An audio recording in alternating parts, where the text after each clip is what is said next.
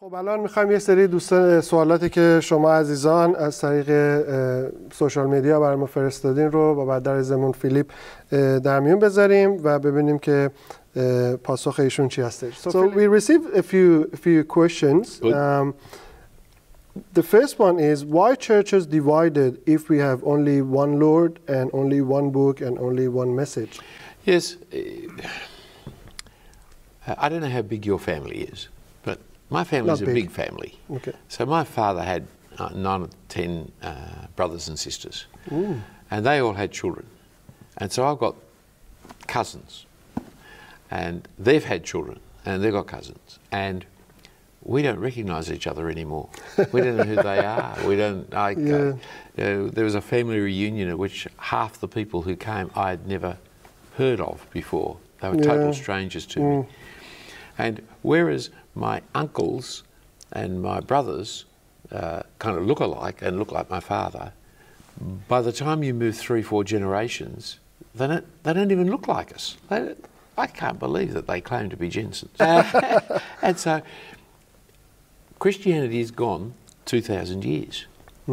And over that period of time, the, uh, the look of what Christians look like has got further and further apart.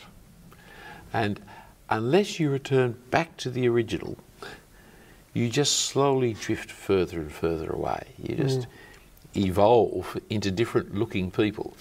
And so each generation tends to think that the church they grew up in was the real church. and of course, it, it's a lack of historical knowledge. Because if you checked 100 years before that, they didn't sing those hymns and they didn't have that kind of architecture and they didn't have this.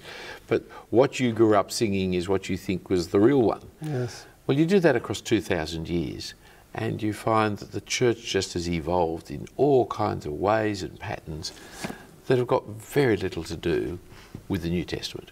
Right. Which is why the Reformation took place. It was reforming the church. Mm. And one of the principles of the Reformation was you always need to reform the church. You, Every generation needs to reform the church. So we always need to go back to the original.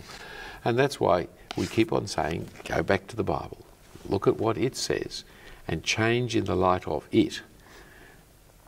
Change by all means, but change in the light of it, rather than continuing the practices of yesteryear because, well, that's the way it was always done, or that's the way I was taught. Because it just gets further and further away from the truth. Exactly. Um, when I was asked this question in one of our Bible study group, uh, this just came to my mind, and I said it. I said, "You have a classroom with 20 students. We have we, you have one teacher with one book, but you see, a few fails the test, one top student. It's also depending on the students how they read the Bible, as you said, how they Yes. put the time in. If we have a lazy preacher, for example, Yes. so obviously we, we go astray and." And, and a sinful one who leads us astray, mm. and those kinds of things happen, yes. Exactly. There used to be photostats rather than photocopiers. Before we had plain paper photocopies, we had photostats, which was a kind of a film. Yeah, yeah. And when you took a photostat of a photostat of a photostat, it just got weaker and weaker Exactly. and weaker as it Yep. went down through every generation. Well, Christianity is at the end of 2,000 That's a- years. That's a good illustration. That illustration has been destroyed by plain copy photocopiers. Exactly. technology We- has we- destroyed we, that We can't use it anymore. yeah, wonderful.